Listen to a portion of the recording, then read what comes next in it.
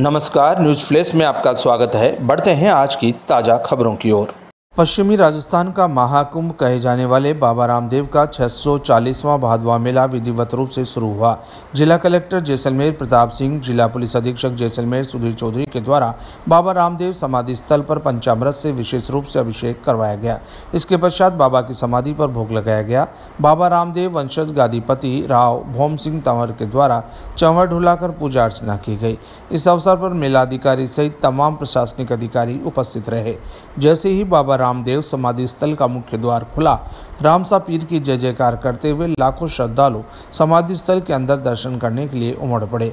भीड़ को देखते हुए पुलिस प्रशासन की तरफ़ से सुरक्षा के कड़े और माकूल इंतज़ाम किए गए। पुलिस का अतिरिक्त जाब्ता भी लगाया गया। मेला प्रशासन की तरफ़ से सुरक्षा के लिए सीसीटीवी कैमरे लगाए गए हैं, जिस पर लगातार मॉनिटरिंग हो रही है। एक अनुमान के अनुसार दिन के करीब पाँच लाख से अधिक लोग बाबा रामदेव की समाधि के दर्शन करेंगे। ऐसे में छोटा सा कस्बा इन दिनों महानगर का रूप लिए हुए दिखाई दे रहा है। हाथों में लंबी लंबी ध्वजा लिए भक्तों का जोश और उत्साह हिलोरे मार रहा है। भक्तों को ना भूख लग रही, न ही प्यास लग रही।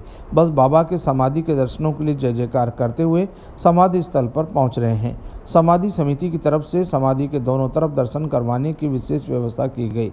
औसतन तीन से चार घंटे में श्रद्धालुओं को सुगमतापूर्वक दर्शन हो रहे हैं।